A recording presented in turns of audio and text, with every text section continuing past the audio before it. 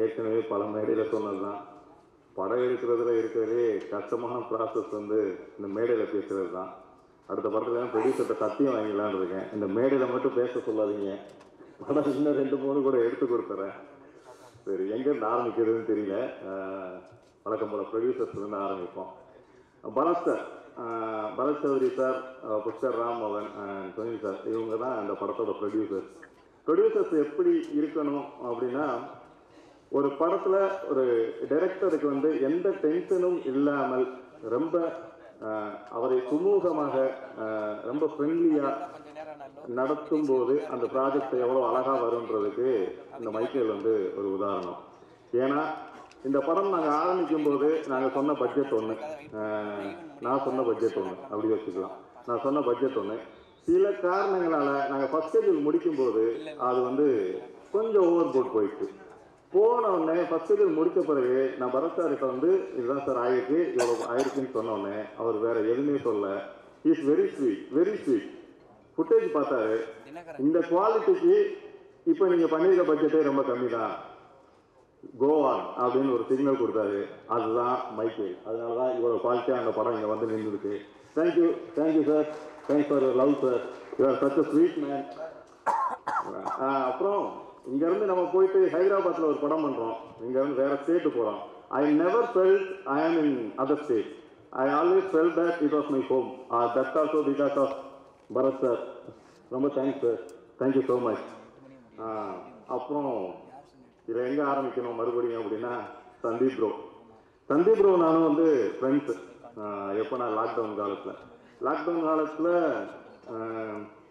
நம்ம வந்து இந்த கோ கரோனா கோ அப்படின்னு சொல்லிக்கிட்டு இருக்க அந்த பீரியடில் ஆரம்பித்த கதை தான் இது. சும்மா ரெண்டு பேர் பேச ஆரம்பித்தோம் என்ன பண்ணுறோம் அடுத்துன்னு.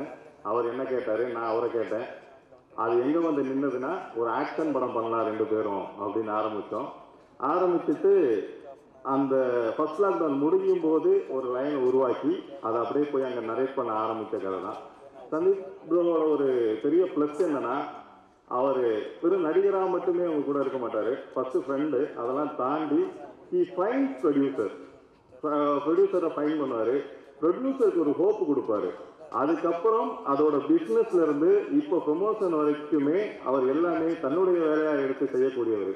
இந்த படத்துல மைக்கேலோட கேரக்டரை பத்தி பேசணும்னா ரொம்ப டஃப்பான ஒரு கேரக்டர் நீ டஃப்னு என்ன சொல்றதுன்னா you can express through words நீங்க என்ன ஒரு ஒரு எமோஷனையும் என்ன பண்ணலாம்னா வார்த்தைகள் மூலம் ஈஸியாக வெளிப்படுத்திடலாம்.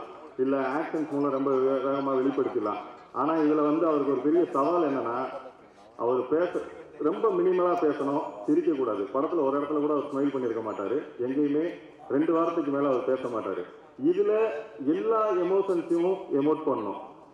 அன்பு காதல் கோபம் குரோதம் துரோகம் எல்லாத்தையுமே நீங்கள் வார்த்தை இல்லாமல் எப்படி எமோட் பண்ணுறது அப்படின்னு யோசிச்சிங்கன்னா ரொம்ப கஷ்டமானது. அந்த சவாலை சூப்பராக செஞ்சார். ரொம்ப ஒரு டிஃபிகல்ட்டான ஃபைட் சீக்வன்ஸ்ல இருந்தது. தினேஷ் சாஸ்திரி மாஸ்டர் தான் அதெல்லாம் பண்ணார். அவருக்கு ஒரு தனி அப்ளாஸ் கைதட்டணும்னு நினைக்கிறேன். ஏன்னா is another director like a director in this movie ஏன்னா அந்த ஃபைட் எல்லாம் ரொம்ப ராவா ரசிக்காக இருக்கணும் அப்படின்னு சொல்லும்போது அவர் ஒரு பிளானோட வந்தார். பிளானோட வந்துட்டு அப்புறம் எனக்கு இதெல்லாம் வேணும்னு சொல்லும்போது அது அது கரெக்டான சேஃப்டி மெஷர்ஸோட எடுக்கிறது தான் ரொம்ப முக்கியம். ஏன்னா ஃபைட்டுன்றது ரொம்ப ரிஸ்க்கு பல லைஃப் இன்வால்வ் அதில். ஸோ அதை சிறப்பாக எடுத்து கொடுத்தாரு. Then my DOP Kiran Kaushik கிரணை பற்றி சொல்லணும்னா கிரண் காலேஜ் பையனாக இருக்கும்போதுன்னு எனக்கு தெரியும். ஏன்னா நான் வச்சு படம் பண்ணும்போது அவன் அதில் வந்து இன்டர்னு so is like my brother எப்பயுமே டச்சில் இருப்பான். அவன்கிட்ட எனக்கு பிடிச்சது என்னென்னா அந்த ஸ்மைல் மாதிரி ஆளும். ரொம்ப ஸ்வீட்டான ஒரு ஆள் தான் எப்பயுமே டச்சில் இருப்பான். அவன் அந்த டச்சில் இருக்கும்போது என்னன்னா சினிமா பற்றி தான் அதிகமாக பேசுவான். ஓ எங்கே எல்லாத்தையும் ஒரு- எது சினிமாவில் ஒருத்தவங்களை இணைக்குது அப்படின்னா டேஸ்ட்னு சொல்லுவேன் நான். ஒரு யூனிஃபார்ம் டேஸ்டில் இருக்க யூனிஃபார்ம் இருக்குல்ல அதுதான் எல்லாத்தையும் வந்து இணைக்குதுன்னு சொல்லுவேன் ஒருத்தவங்க விட்டு ஒருத்தவங்க இப்போ எனக்கு பிடிச்ச படம் அவனுக்கு பிடிச்சிருக்கும். எனக்கு பிடிச்ச இசை அவனுக்கு பிடிச்சிருக்கும். அப்போ ரெண்டு பேரோட டேஸ்ட் இருக்கும்போது என்னென்னா அது நல்ல ஒரு புரிதல் இருக்கும். ஸோ அந்த டேஸ்ட் அவனை வந்து ரொம்ப நெருக்கமாக என்ன என்கிட்ட கூட்டு வந்தது. ஏன் அப்படின்னா எனக்கு ரொம்ப பிடிச்ச படம் ஒரு படம் சொன்னீங்கன்னா லைஃப்பில் எனக்கு ரொம்ப க்ளோஸ் டு ஹார்ட் படம் சொன்னீங்கன்னா இன்டு த வைல்டுன்னு ஒரு படம் சொல்லுவேன். அந்த படத்தை எனக்கு அப்புறம் அந்த படத்தை பற்றி பேசுனது ஏன் கூட அப்படின்னா அது அவன் தான் அதுதான் இந்த படத்துக்கு அவனை டிஓபி ஆக்கியிருக்கு நிஜமாவே. தென் சாம்பியஸ் சாம்பியஸ் வந்து எனக்கு ஃபஸ்ட்டு படத்துலேருந்து இருந்து நண்பன். ஒரு விஷயத்தை பிளைண்டாக நான் யாருக்கிட்ட கொடுத்துட்டு நான் நிம்மதியாக இருப்பேன் அப்படின்னா அது சான்சியஸ் தான். ஏன் அப்படின்னா இசையில் நான் ஒரு ஞான சூன்யம். எனக்கு இசைனா என்னன்னே தெரியாது. பாட்டு கேட்க மட்டும்தான் தெரியும். ஸோ பிளைண்டாக அவர்கிட்ட கொடுத்துருவேன்.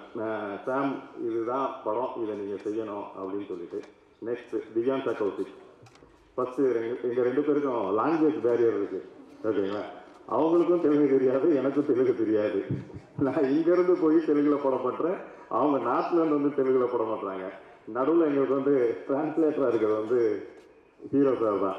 ஸோ அங்கே ஆரம்பித்தது அது.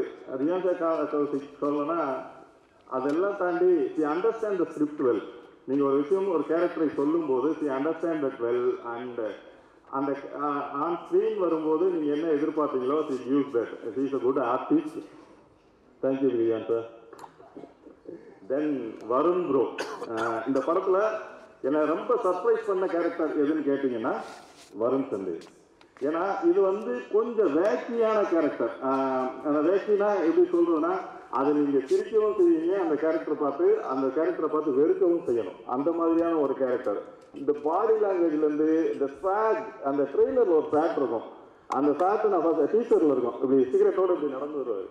அந்த சாத்து ஒன்று இருக்கும். அதை நான் ஃபஸ்ட்டு வந்து சாம்சிஎஸ்க்கு அனுப்பும்போது சாம்சிஎஸ் வந்து அதை பார்த்து கேட்டார் ரஞ்சித் யார் இது? அப்படின்னாப்புல. அதுதான் அந்த கிரெடிட் ஓகேங்களா he loves you actually Sam CS loves you okay he watch the movie ஓகேங்களா தென் என்னோட எடிட்டர் சதீஷ் சதீஷ் வந்து எப்படின்னா ஒரு வார்த்தை பேசணும் அப்படின்னாலே நீங்கள் அவன்கிட்ட ஒரு மணி நேரம் வெயிட் பண்ணணும் என்ன பேசுகிறா இதில் பேசுகிறா ஏதாவது சொல்லுடா படம் எப்படா இருக்குது என்னடா இப்படா இருக்கு அந்த சீன் நல்லா இருக்காடா அப்படின்னா ஒரு ஒரு மணி நேரம் கழித்து ஒரு பதில் சொல்லுவான் நல்லா இருக்குண்ணே அப்படின்வான் ஸோ ஆனால் ஒர்க்காக பார்த்தீங்கன்னா அவன் டுவெண்ட்டி ஃபோர் இன்ட்டு செவன் என் கூடவே இருந்த ஒரு ஆட்களில் சதீஷ் ஒரு ஆள். Thank you Satish. Thank you Satish. Okay then Deepika. Deepika வந்து இந்த படத்தில் ரொம்ப லேட்டாக தான் நான் கூப்பிட்டேன்.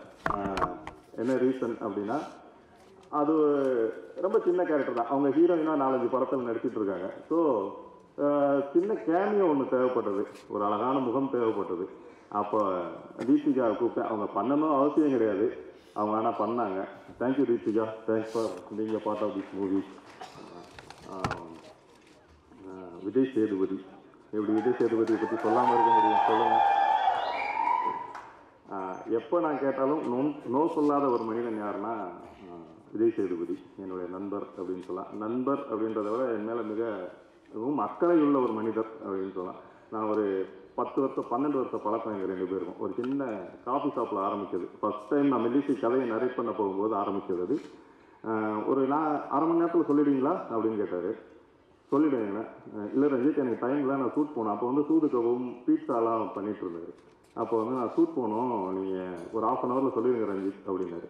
சரின்னு சொல்லிட்டு அந்த மெல்லிசை கதையை சொல்ல ஆரம்பிக்கிறேன். தனஞ்சயன் சாருக்கு தெரியும்னு நினைக்கிறேன். யூடியூபில் வந்து அந்த கதையை சொன்னேன் நான். அவரு பிரபு இருந்தாங்க நினைக்கிறேன் அப்போ வந்து விஜயசேதுபதிகிட்ட சொல்லும்போது அவர் ஆஃப் அன் ஹவரில் சொல்லிருங்கன்னாரு. எனக்கு சொல்ல முடியுமான்னு தெரியல. ஏன்னா நான் கதையை எப்பயுமே ஒரு ரெண்டு மணி நேரம் சொல்லக்கூடிய ஆள். எப்பயுமே டயர்டாகாமல் ஒரு ரெண்டரை மணி நேரம் சொல்லுவேன். எதிர்த்தாப்பில் இருக்கவங்களுக்கு தான் அது எப்படி இருக்குன்னு தெரியாது. அதனால் நான் சொன்ன உடனே ஒரு ஆஃப் அன் ஹவர் போச்சு ஃபார்ட்டி ஃபைவ் மினிட்ஸ் போச்சு. ஒன் அண்ட் ஆஃப் ஹவர் ஆயிடுச்சு. இன்டர்வல் பேக் வரைக்கும் சொல்லி முடித்தேன். சொல்லி முடித்தோடனே என்ன தலைவா மீதியும் சொல்லிடுங்கன்னாரு. அந்த தலைவான் அப்போ சொன்னது தான் இப்போ வரைக்கும் அவர் சொல்லிட்டு இருக்காரு. ஸோ இந்த இதை முடிவு பண்ணிட்டு இந்த படத்துக்கு இந்தியா ஃபுல்லாக தெரிஞ்ச ஒரு ஆள் வேணும் அப்படின்னு. ஏன்னா இந்த படத்தை நாங்கள் ஃபஸ்ட்டு ஆரம்பிக்கும் போது நானும் சந்தீபுரம் ஆரம்பிக்கும் போது இதோட ஸ்டார்டட் இன் பாம்பே பாம்பேல ஒரு ஸ்டுடியோ மூலமாக இந்த படத்தை ஆரம்பித்தோம் ஸ்டுடியோவோட ப்ராசஸ் படி அது கொஞ்சம் கொஞ்சமாக நாங்கள் வந்து வரும்போது ஒரு ஒரு கேமியோ யாராவது எல்லாருக்கும் எல்லா லாங்குவேஜிலும் தெரிஞ்சவங்க வேணும்னு கேட்டாங்க. அப்போ எனக்கு தெரிஞ்சவர் அவர் ஒருத்தர் தான். அவர்கிட்ட தான் என்னால் உதவி கேட்க முடியும். ஸோ நான் ஃபோன் பண்ணி இந்த மாதிரி தலைவா கேட்குறாங்க நான் கான்ஃபரன்ஸ் கூப்பிட்டா அப்படின்னா. அவர் சொன்ன ஒரு வார்த்தை இப்பயும் எனக்கு வந்து புல்லரிக்கும் தலைவா ரஞ்சித் ஜெயக்குடி சொன்னால் நான் பண்ணுவேன்னு சொல்லுங்கள் தலைவா. நீங்கள் அந்த கான்ஃபரன்ஸ் கால்லாம் போட வேணாம்னு சொன்னார். என்கிட்ட கதை எதுவுமே கேட்கல ஸோ அந்த வார்த்தையோட தைரியத்தில் நாங்கள் ஆரம்பித்தோம் அந்த இதை. அதுக்கப்புறம் அவர் சொன்ன வார்த்தைக்காக அந்த ரெஸ்பான்சிபிலிட்டி அதிகமானதுனால நான் வந்து சரி நண்பருக்காக பண்ணிட்டாங்க. நண்பருக்காக அவர் பண்ணுறாரு அப்படின்னு ஒரு பேர் வந்துடக்கூடாதுனால அவர் அந்த வார்த்தை ரெஸ்பான்சிபிலிட்டி அதிகமானதுனால அதை ரொம்ப மெனக்கெடலோடு அந்த கேரக்டரை எழுதினேன். நாங்களே அவரை செலிப்ரேட் பண்ணி தான் அந்த கேரக்டரை எழுதி அந்த கேரக்டரை படத்துக்குள்ளே கொண்டு வந்தோம். அவருக்கு ரொம்ப பிடிச்சிருந்தது. தலைவா இன்னும் ரெண்டு நாள் தரேன். இன்னும் அதிகமாக எடுங்கன்னு சொன்னார். அது சும்மா ஒரு அஞ்சு நிமிஷத்தில் ஆரம்பித்த கேரக்டரு இப்போ ஒரு இருபது இருபத்தி ரெண்டு நிமிஷத்தில் இருக்குது அந்த படத்தில். ஸோ நாங்கள் செலிப்ரேட் பண்ண மாதிரி நீங்களும் அதை செலிப்ரேட் பண்ணுவீங்கன்னு நம்புகிறோம் அப்புறம் கௌதம் சார் ஜிஎம் சார் ரொம்ப நானே ஒரு படம் பார்த்து தான் வளர்ந்தேன் நீங்கள் எல்லாரும் நான் ஏதோ காதல் படம் எடுக்கிறேன்னு சொல்றீங்க. ஜிஎம் சார் மாதிரி ஒரு லெஜண்ட் காதல் படத்துக்கு முன்னாடி என்னோட படம்லாம் சும்மா சாதாரண ஒரு படம் தான் ஸோ அவர்கிட்ட நான் கதை சொல்ல போகலாம் அப்படின்னு முடிவு பண்ணும்போது அதுவுமே ஒரு இதுதான். நாங்கள் ஃபஸ்ட்டு வந்து ஒரு ஹிந்தி ஆர்டிஸ்ட் பெரிய ஆர்டிஸ்ட் தான் அதுக்கு பேசிகிட்டு இருந்தோம். கரெக்டாக செகண்ட் லாக்டவுன் வந்தது. அந்த லாக்டவுனுக்கு முன்னாடி தான் அவரோட மீட்டிங் எனக்கு செட் பண்ணியிருந்தாங்க. அந்த பேர் சொல்லாமான்னு தெரில சொல்லாமா அப்புறம் வேணாம்ல. அவரோட மீட்டிங் செட் பண்ணிட்டாங்க கரெக்டாக அந்த செகண்ட் லாக்டவுன் விழுந்தது அவங்க அந்த கோவிட் கேரில் வந்து அது நடக்காமல் போயிடுச்சு.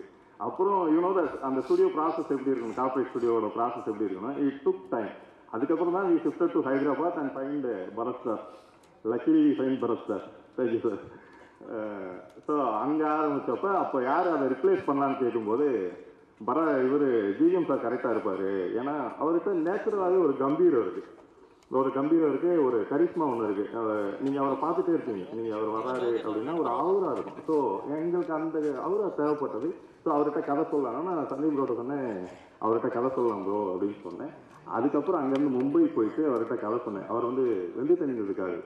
அந்த ஷூட்டிங்கில் இருந்தார். நடுவில் போய் கதை சொல்லும்போது அவர் கேட்டார். கேட்டுட்டு எவ்வளோ வருஷம் இந்த கதை எழுதுனீங்கன்னு கேட்டார் என்கிட்ட. இல்லை சார் ஒரு சிக்ஸ் மந்த்ஸ் செவன் மந்த்ஸ் எழுதியிருப்பேன் இது பார்த்தா ஒரு மூணு வருஷம் எழுதுன நாலு வருஷம் எழுதின கதை மாதிரி இருக்கிறேன் இது எப்படி இதை எழுதுனீங்கன்னாரு இல்லை சார் நான் ஒரு ஆறு மாதம் தான் எழுதினேன் அப்படின்னா you are very interested and very sweet and friendly actor ஒரு டைரக்டருக்கு ஒரு டைரக்டராக நம்மளுக்கு ஒரு தயக்கம் இருக்குல்ல அவர் ஒரு டைரக்டர் இதில் ஏதாவது கேட்டுருவாரா ஏதாவது சொல்லிடுவாருங்க. அப்படி எதுவுமே இல்லை. Is a very finest actor and very friendly man thank you sir GM sir for being part of Michael அப்புறம் மைக்கேல் ரொம்ப நல்லா வந்திருக்கு. எங்களுக்கு ரொம்ப ஹோப்ஃபுல்லாக இருக்குது producers are happy hero is happy and all others are happy ஒரு mention பண்ண வரேங்க அனசியா மேடம். அவங்க வந்து இதில் வந்து ஒரு கேரக்டர் பண்ணியிருக்காங்க அனசியா மேடமும் வ- வரலட்சுமியும். They also did a wonderful job ரொம்ப நல்லா வந்திருக்கு.